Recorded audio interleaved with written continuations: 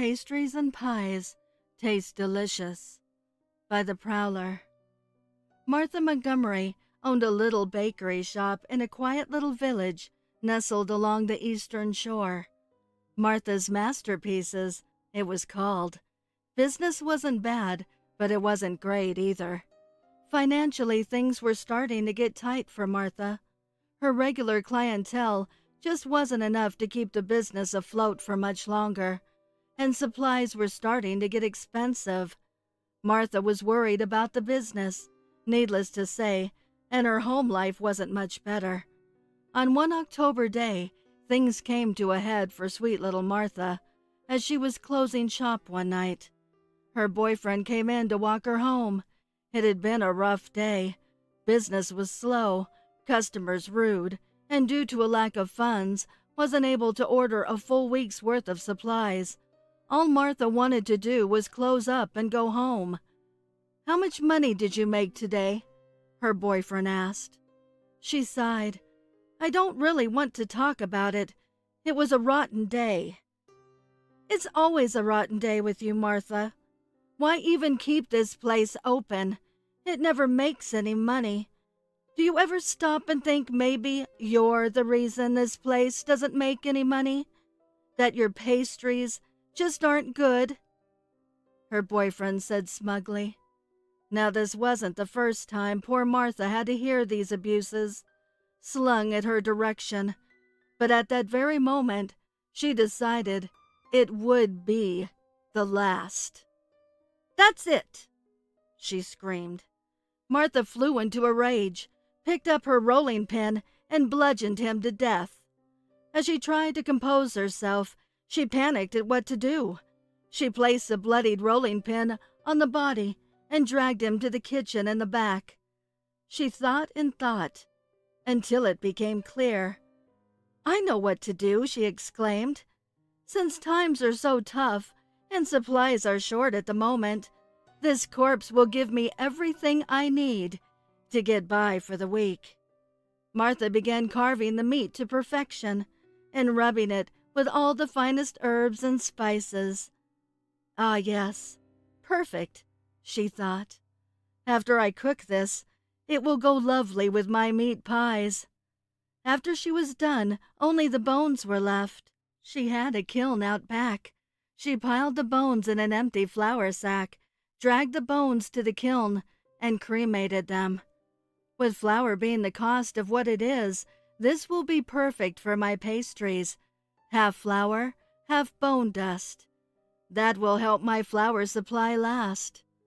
Martha worked all through the night, baking up a storm, and by the morning the display cases were filled with the freshest baked delights. Martha wrote up a new sign promptly advertising the freshest of ingredients, an all new menu Everything half off. That should get them here, she thought. Not long after she opened, she noticed the mayor's car pull up in front of her shop. The portly older gentleman got out of his car and walked in. He proceeded to tell her he was on his way to a meeting and smelled a heavenly aroma wafting from her shop. She thanked the mayor and gave him a complimentary meat pie. This is a brand new recipe, Mr. Mayor, and I hope you like it. Mmm. Oh my, Martha. This is delicious. I don't know what you've been doing, but this is the best pie I've ever tasted. She thanked the mayor, and he proceeded to order a dozen pies and pastries to take with him to the meeting. I'm going to tell everyone, he said as he walked out the door. She smiled and prepared for the day. The word got out by midday, and Martha's shop had never seen such business. Everyone was in love with Martha's new menu. This continued for the week. Pies and pastries were flying off the shelves. But on that Sunday, Martha was realizing that her supplies were running low. As she was closing, the door opened, and in walked the mayor and his wife. Oh, Martha, I hope we're not too late. We were hoping to catch you before you closed. Martha looked up and smiled. Ah, yes, Mr. Mayor. You and your lovely wife are just in time, she said with a wide smile on her face and holding her rolling pin behind her back. The next morning, Martha opened up the shop with the display cases full of the freshest pastries and the most delicious smells wafting through the neighborhood. As she wiped the countertop, she noticed a stranger about to enter the shop. Oh my, what is that smell? I can smell it from down the street. It's simply delicious. Everything looks so good, I don't know what to get. Thank you, Martha said. Try the pastry, best in the village, I'm told. And you must have a meat pie. That's what I'm known for. And I just finished baking this batch this morning. This meat is fresh, and it's spiced to perfection. Here, have one. Why, thank you very much. Mmm, delicious, the stranger exclaimed, with a look of pleasure on his face. What's your secret? This is the best meat pie I've ever had. Well, without telling you too much, the trick is the meat. I only use the freshest, locally sourced meat. It's really made all the difference. Trust me, no other shop in the village does it like I do. Martha said with a mischievous grin. I don't think I've ever seen you around the village. Did you just move here? Martha politely asked the stranger. No, I'm just passing through. First time I've ever been here. As a matter of fact, I have to get back out on the road, the stranger replied. Well, before you leave, how would you like for me to show you how these delicious pies are made and have a tour of my kitchen? And I'll even throw in a couple of complimentary pies for the road.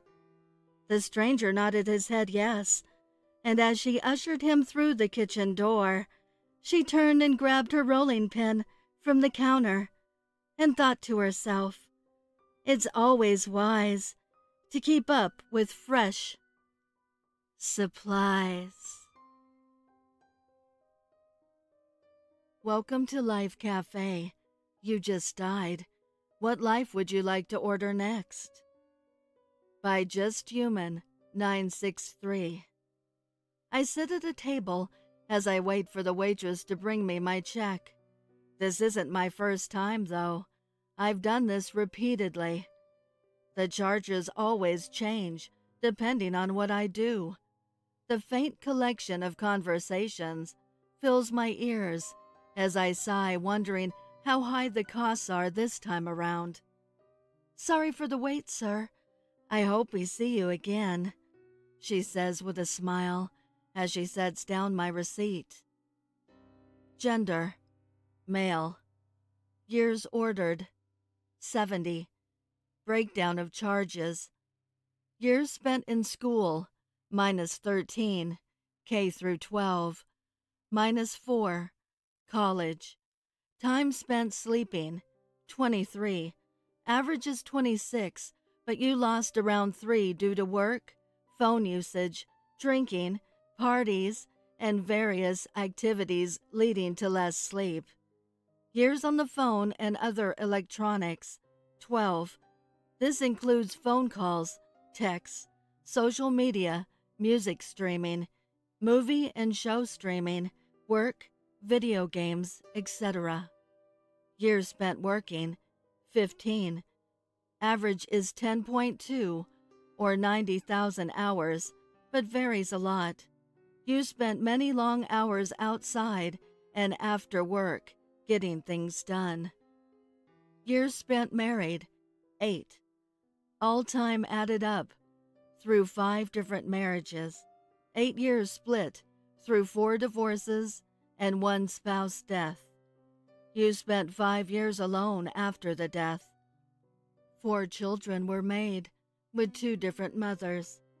Discounts applied missed birthdays, missed events for kids, times drunk, drug usage, etc. I fold the receipt in half and set it on the table. Shit. Better luck next time, I suppose. I spent all of that time burnt out in a deadbeat. No time was set aside for my family or kids. I called a waiter over and gave him my new order. Perhaps a medieval time period, destined to grow up as a prince, will do some good. To make it spicier, I'll take 30 years of life before being overthrown and killed. At least being set up with a princess will be interesting. I'll just enjoy some coffee before I wake up in that new life. I have all of eternity, anyway. A few tables over, a young couple in their 20s receives a check and summary of their life. Both are still in their wedding attire, still dazed by the car accident. Millions come and go within this expansive complex of tables and servants. All of you have been here before, and we'll all end up here in the end. Work is Hell by Because I Said So Too. When the demons appeared, they showed up at crime scenes, nightclubs, and unfortunately for them, churches. They were red, horned, had cloven feet, pointed tails, and smelled like brimstone. Humanity predictably freaked out. The demons were typically attacked and killed, but a percentage were captured and questioned, and we pieced together what was happening. Demons now walked among us. Scientists and pundits offered theories to the contrary, claiming they couldn't be from hell. They were from another dimension, another planet, psychic manifestations, from the Gestalt, etc. But the creatures were pretty convincing. They said that hell was full, and that they were formally damned souls sent to earth to have another chance at redemption, and they refused to share much more than that. What they shared was enough, and at the end of a quarantine, most first world countries believed them and attempted to integrate them into society. There was resistance, but there was also government incentives for businesses. Employ one, and their salary would be covered, and the business would be tax exempt. As the owner of a struggling coffee shop, I hired a demon named Hargathorpe. It got my business some publicity, but it attracted a lot of negative attention. My shop was vandalized, protested, and employees were harassed. It was a damned hassle. So when legislation was passed that made demon-free zones tax exempt, I let Hargathorpe go. Me and my staff agreed it would be best. We knew he'd be inconvenienced. Jobs were scarce for his kind. They were having difficulty being re-assimilated into society. After letting him go, I'd occasionally see him panhandling or rooting through dumpsters it wasn't my problem, but I felt bad about it. I heard Hargathorpe had been found frozen under an overpass. It wasn't a huge shock. Eventually, all the demons disappeared. Many violently killed by fundamentalists, but most died from neglect, starving, getting sick from malnutrition, or freezing to death during winter. Then the angel showed up appearing to select people and telling us to share their message with others. One appeared in my cafe. It was beautiful, clothed in flowing robes and glowing with white light. Its bare feet floated a few inches off the ground, and it had huge wings that spread out behind it like a curtain to a celestial show. The angel's face was almost too bright to look at, but I couldn't look away. Its eyes were mesmerizing, and they drilled into mine, seemingly seeing into my soul. When it spoke, it was with a voice that sounded like music, that I could feel in my bones. It said that the demons had been forgiven and were in heaven. Their time on earth had been a test. They had all passed. But their arrival on earth had been a test for humanity, too. One, we failed. Hell wasn't full after all. It was waiting for us. That was the final judgment for humanity, the angel said. And then the angel began to weep.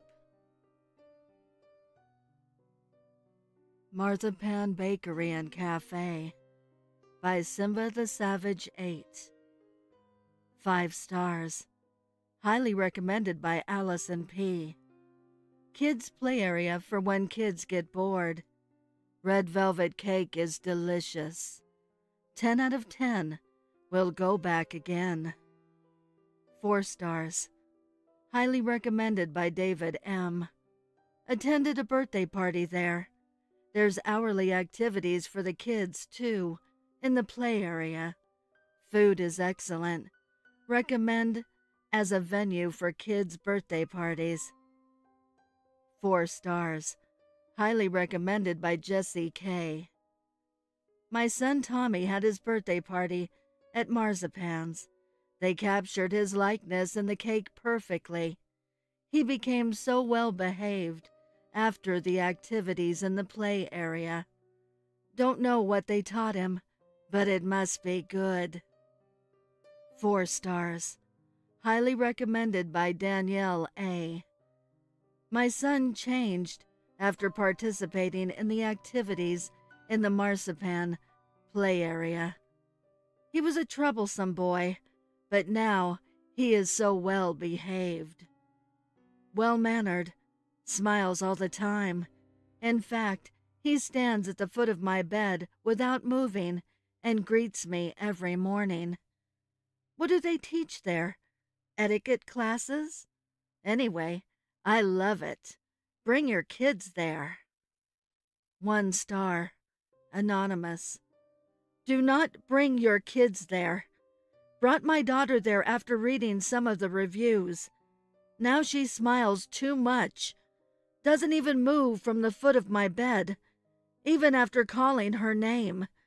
Tried to drag her away and her legs broke. She's in the hospital now.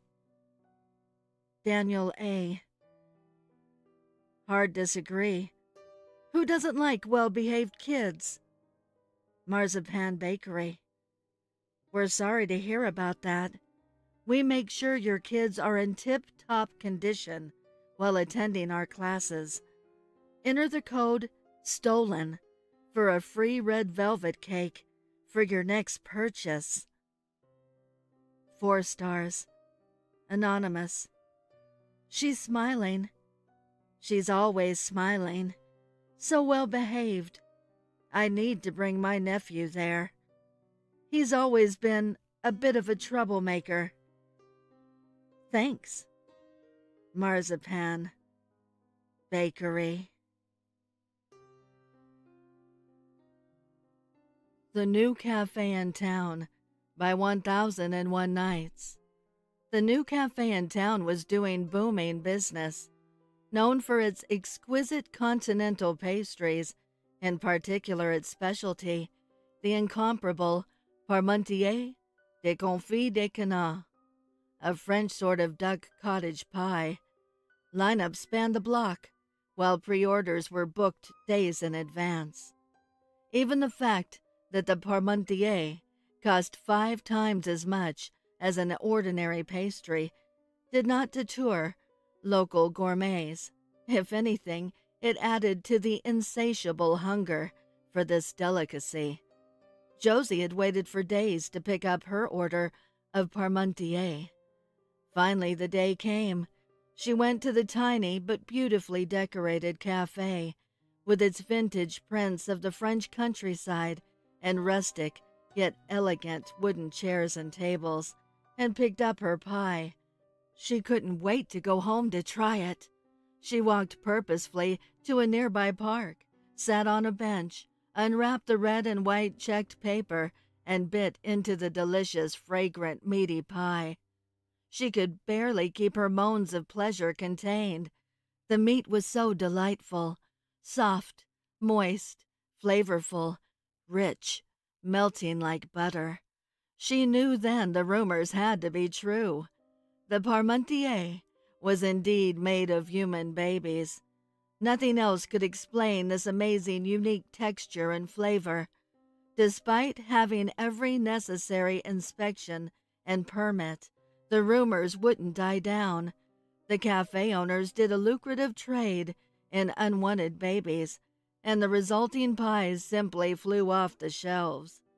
She paused to take a breath and swallow, and looked at the golden work of art, or what remained of it, in her hands. She knew she would order another one soon. A man wandered up and sat down beside her. Josie frowned. The man ignored her frown, smiled pleasantly, and said, Enjoying your parmentier? Des confits de canard? Josie answered curtly, Yes, thank you. Could he not see she wanted to be left alone to enjoy her treat? Apparently not. You know what they say about the Parmentiers, right? Josie darted a look at him and then at her surroundings. She was not alone. Other people were wandering around. She shrugged.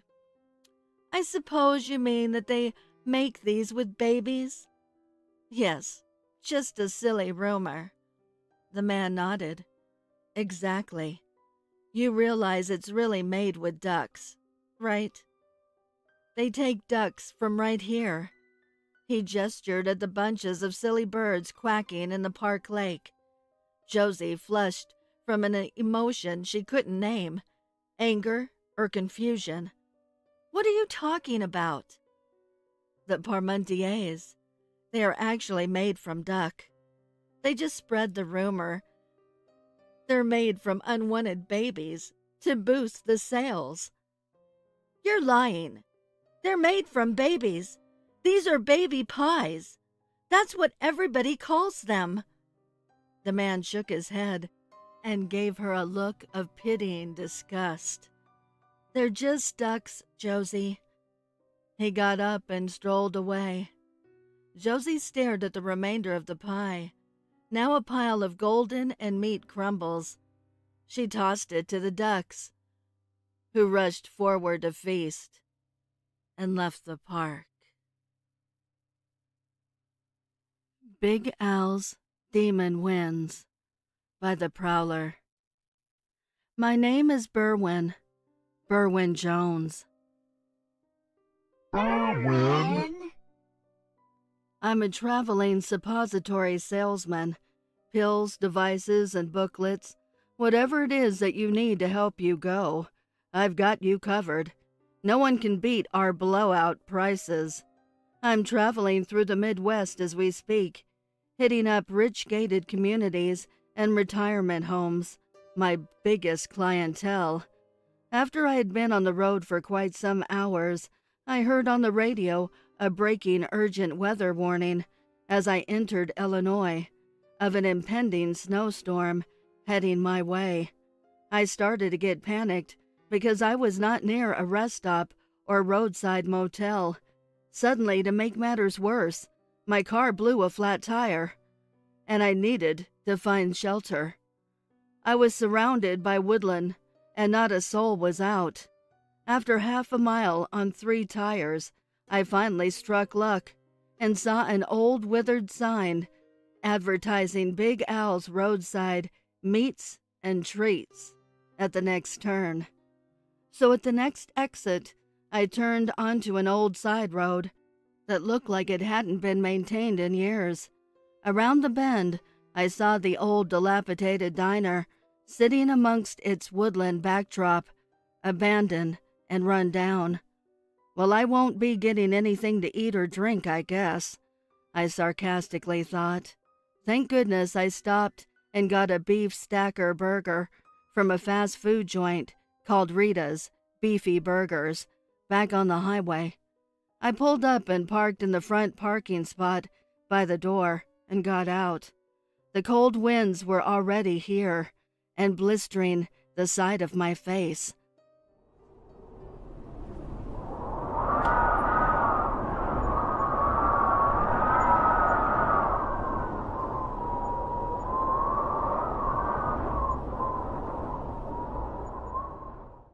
I hurriedly made my way to the door and knelt down and stuffed myself into the broken door panel. I was immediately hit with the smell of old decaying grease. I lit my cigarette lighter and decided to explore the room I was going to be spending the night in. It was dark, damp, and eerie, as you might expect. I had to maneuver my way past a few turned over tables and chairs. The place literally looked as if it had been abandoned for decades. I came to the wall on the far side of the room, next to the doors leading to the kitchen. On the wall, I saw a picture of a few gentlemen hugging each other, surrounding a nice, smiling, portly gentleman who I'm assuming was Big Al.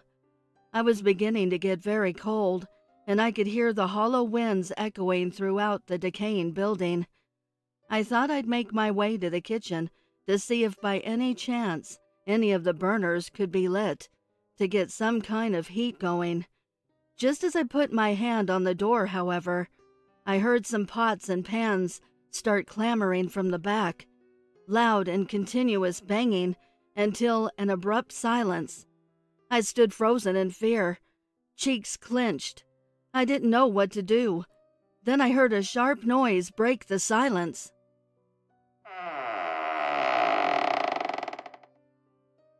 Then a loud voice yelled, Hey, pal. Welcome to Big Al's. I'm Big Al.